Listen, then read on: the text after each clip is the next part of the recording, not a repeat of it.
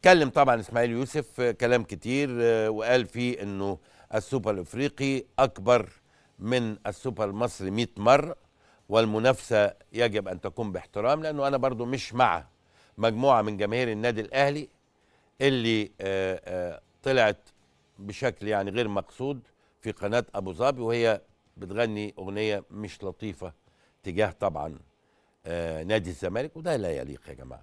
يا جماعة ده إحنا في بلد جميلة وعمر ما ابدا جمهور الإمارات يطلع منه ده.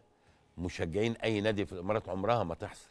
ناس واخدين على الاحترام وعلى الأدب وإحنا عايزين ندي صورة طيبة للمشجع المصري. ده ما يصحش.